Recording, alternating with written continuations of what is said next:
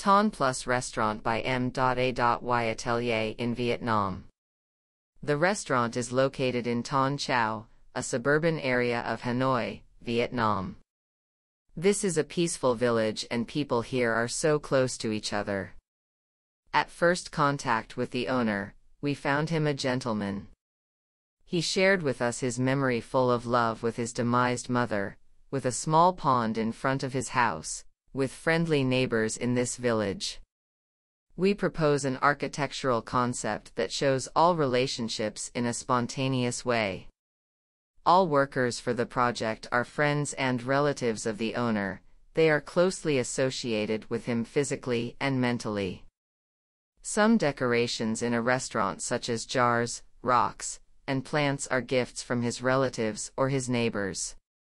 Especially some decorations were picked up around the house. And we, as architects, put them in the right place. In front of the restaurant opens to a lotus pond. We propose a small fresh garden around the restaurant, along the road. This is a shared space with the neighborhood, everyone can enjoy this garden whether they are diners or not. The kitchen has an open design so that bypassers can see the chef cooking. The restaurant and the old house are separated by a small walkway with rows of bamboo and alternating red bricks. Star apple trees and bamboo bushes are two things that are kept before construction. It is so meaningful that the owner would like to save the connection with his ancestors and his mother by the trees. Hence, we cut the roof based on the canopy of the star apple tree and created arched glass windows, so that diners can see the bamboo bushes.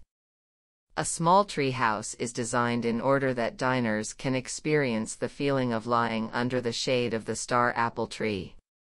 Our architecture is simply created by great things from the people and the place where we met.